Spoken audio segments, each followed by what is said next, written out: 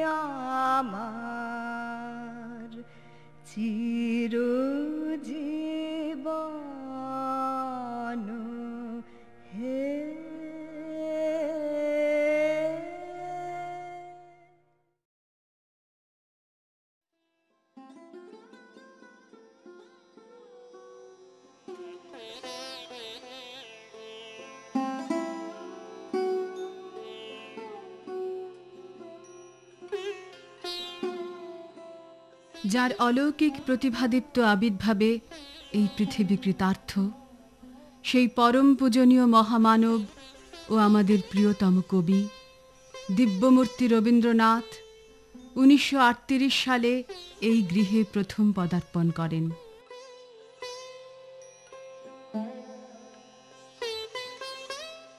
পূজনীয় গুরুদেব এই গৃহে চারিবার আতিথ্য গ্রহণ করিয়া আমাদের জীবন কৃতার্থ ও এই স্থান পূত করিয়াছেন।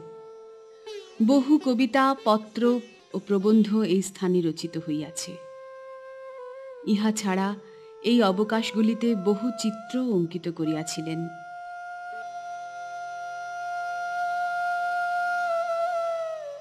এই গৃহে তার আনন্দিত, উদাত্ত কণ্ঠস্বর, সুরে ছন্দে গানে বারংবার ধ্বনিত হইয়াছিল।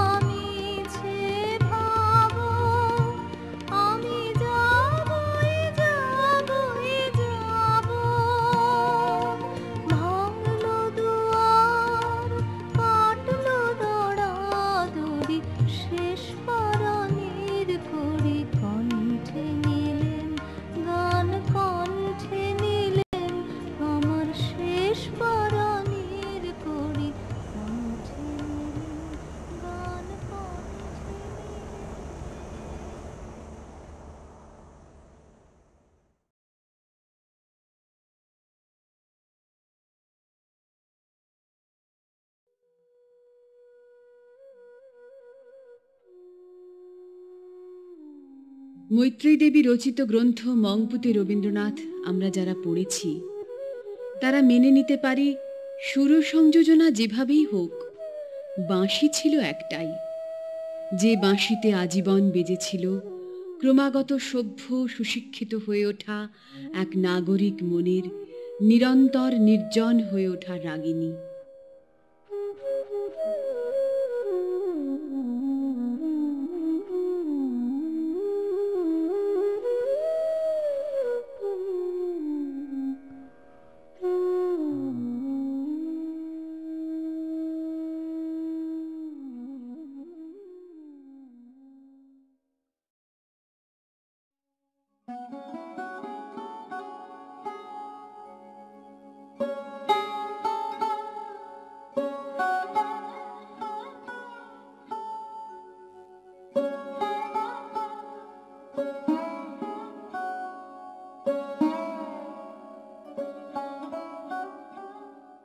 জোড়াসাঁকো ঠাকুরবাড়ির নিয়ম শৃঙ্খলা থেকে প্রথম মুক্তি বাবার সঙ্গে হিমালয় যাত্রা।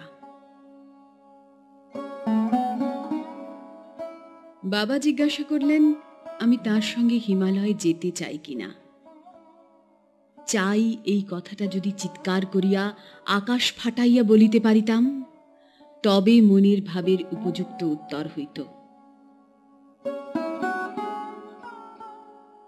জীবনের শেষ অবকাশ যাপন হিমালয়।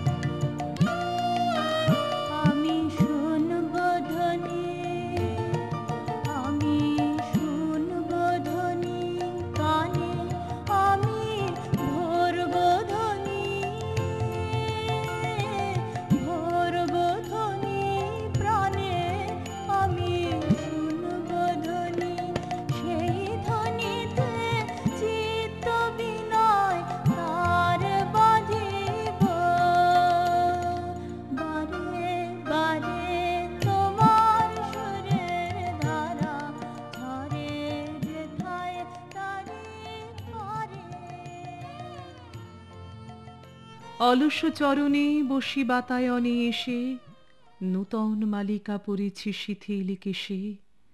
এমন সময়ে অরুণ ধূসর পথে তরুণ পথিক দেখা দিল রাজরথে।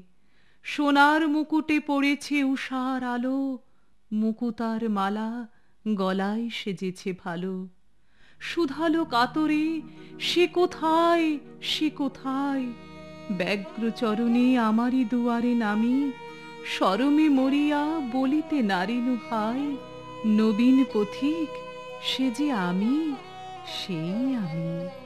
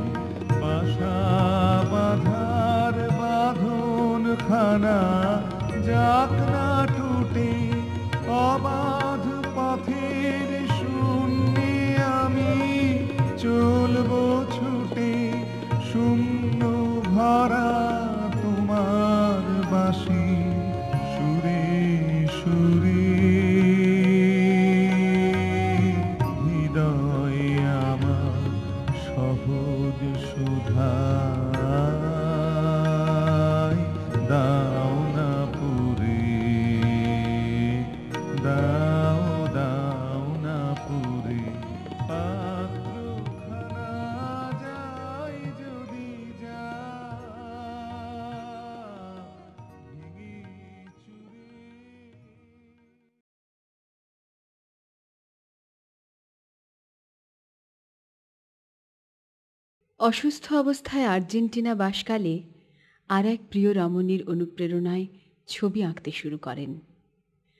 অভ্যাসটি শেষ পর্যন্ত থেকে যায়। নিজের আঁকা ছবিকে বলতেন, এ হলো আমার শেষ বয়সের প্রিয়া।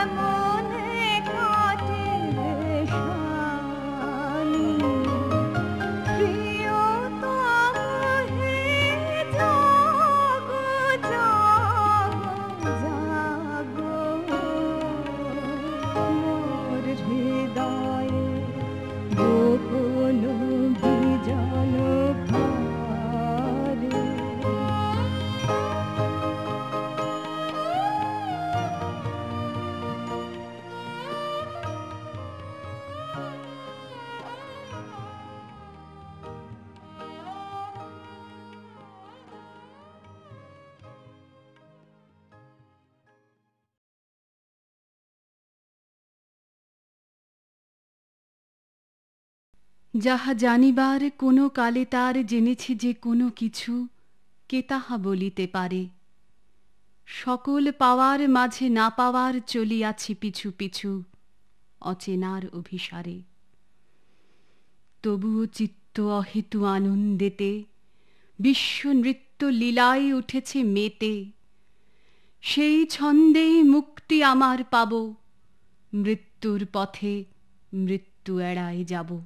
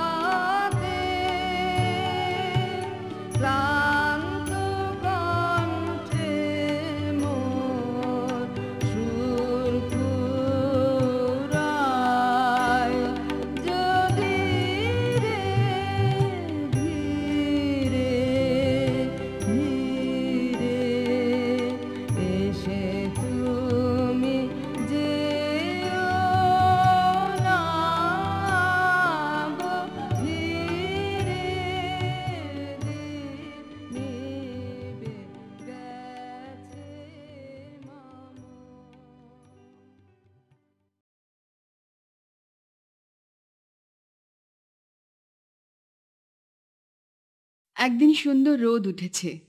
আকাশে অল্প অল্প শরৎকালের মেঘ। মংপুর পক্ষে দিনটা ঈষৎ গরম বলা যেতে পারে।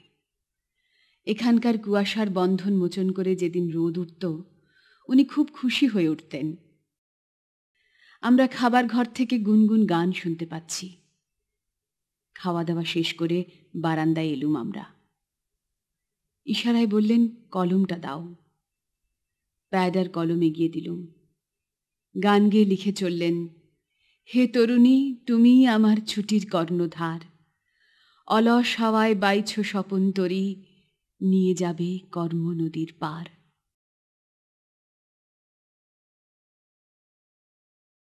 সেদিন অনেকগুলো গানের রেকর্ড বাজানো হয়েছিল। উনিও প্রত্যেকটি গানের সঙ্গে গাইছিলেন।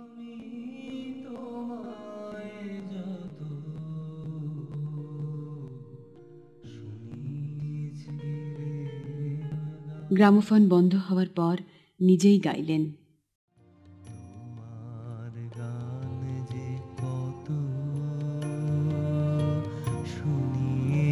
তোমার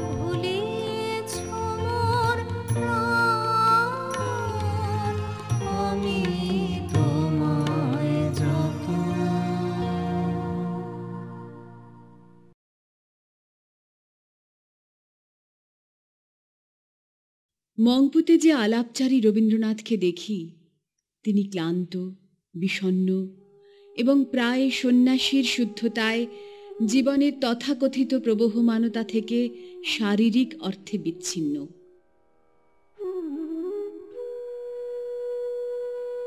কেন তবে তিনি পৌঁছে গেলেন এই নিরালায়, একা, অপরূপা এক রমণীর কাছে? হয়তো তিনি নিজেরই অগচরে সম্পূর্ণ করতে চাইছিলেন একটি অলৌকিক বৃত্তকে। কিশোর বয়সে হিমালয়ের নিশ্ছিদ্র স্তব্ধতায় যে সঙ্গীতের শুরু অন্তিমকালে সেই সঙ্গীতই যেন পূর্ণতা পায়, অনুরূপ আর এক পার্বত্য স্তব্ধতায়।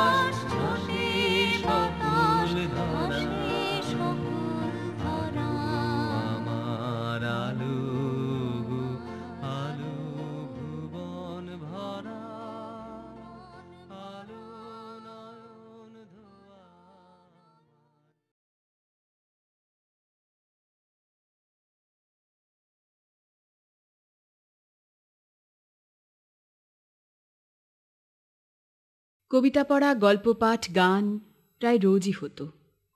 এক একদিন খুশির গান, বেদনার গান, মজার গল্প, ভূতের গল্প একই সঙ্গে চলতো।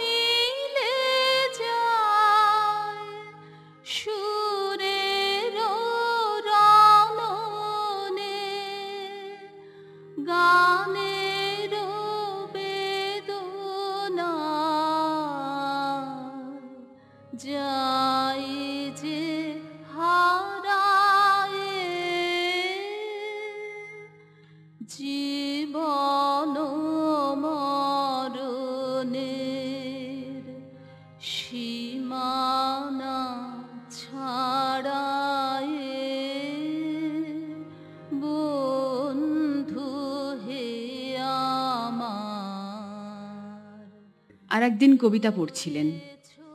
পড়া থামিয়ে বললেন অধিকাংশ জীবনই তো এই কি বলো? বেদনাবিহীন অষাঢ় বিরাগ নিজ অভ্যাসে বাঁধা একঘেয়ে জীবন। তাই ভেবেছি আজিকে খেলিতে হইবে নূতন খেলা। তাই ভেবেছি আজিকে খেলিতে হইবে নূতন খেলা।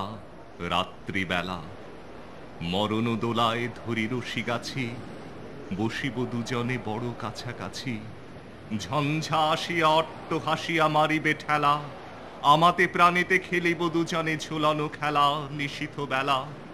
দেদোল দোল দেদোল দোল এ মহাসাগরে তুফান তোল। একবার এমনি করে পড়ে গিয়ে শেষে সম্পূর্ণটা পড়লেন। পড়তে পড়তে উত্তেজিতভাবে চেয়ারে সোজা হয়ে বসলেন। পায়ের উপর থেকে চাদর স্খলিত হয়ে পড়ে গেল। এক হাতে বই ধরে আছেন আর এক শুভ্র দীর্ঘ বাহু ছন্দের তালে তালে উত্তেজিতভাবে নাড়ছেন। ঘরের অল্প আলোতে দেওয়ালের উপর সে হাতের ছায়া দীর্ঘতর হয়ে ওঠানামা করছিল। সে ছবি এখনও দেখতে পাই।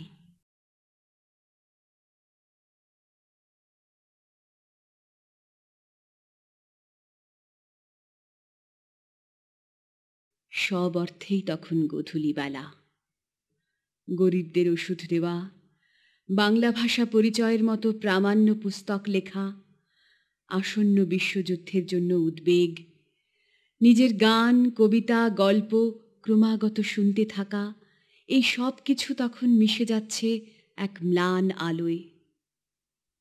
সেই আলোয় কবির এক অন্য রূপ। যে রূপ হয়তো সত্যি পাখির রঙকে আলোর রবে খুঁজে পায়। দেবদারু গাছে শুনে কিন্নর কণ্ঠ। সহসা আবিষ্কার করে, আছে, নিশ্চয় আছে, অমৃত সূর্য।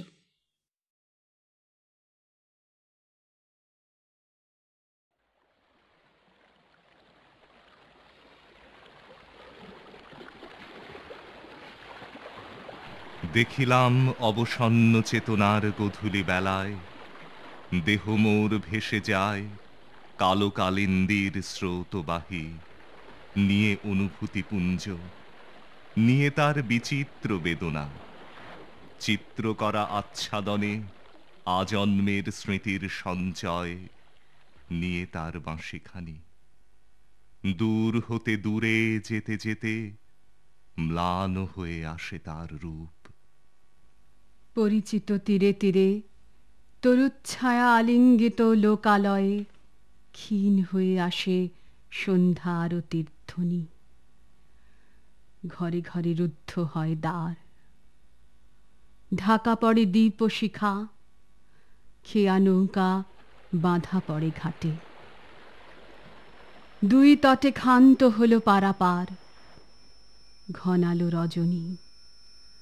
বিহঙ্গের মৌন গান অরণ্যের শাখায় শাখায় মহানিঃশব্দের পায়ে রচি দিল আত্মবলি তার এক কৃষ্ণ অরূপতা নামে বিশ্ব বৈচিত্র্যের পরে স্থলে জলে ছায়া হয়ে বিন্দু হয়ে মিলে যায় দেহ অন্তহীন তমিশ্রায়। নক্ষত্র বেদীর তলে আসি, একা স্তব্ধ দাঁড়াইয়া ঊর্ধ্বে যে কহি জোড় হাতে, হে পুষণ সংহরণ করিয়াছ তব রশ্মি জাল। এবার প্রকাশ করো তোমার কল্যাণতম রূপ। দেখি তারে, যে পুরুষ তোমার আমার মাঝে এক।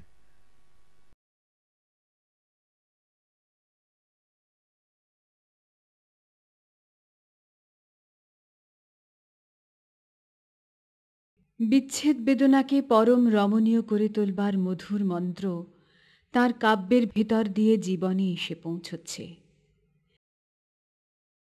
আজ তাই তাঁর সঙ্গে চিরবিচ্ছেদের দিনগুলির স্মরণে কোনো ভয়াবহতা নেই। সে যেন সন্ধ্যার দিগন্ত প্রসারী অস্তরাগের মতো ছড়িয়ে আছে সমস্ত সত্তার উপরে। আসন্ন রাত্রির জন্য উদ্বেগ তাতে নেই।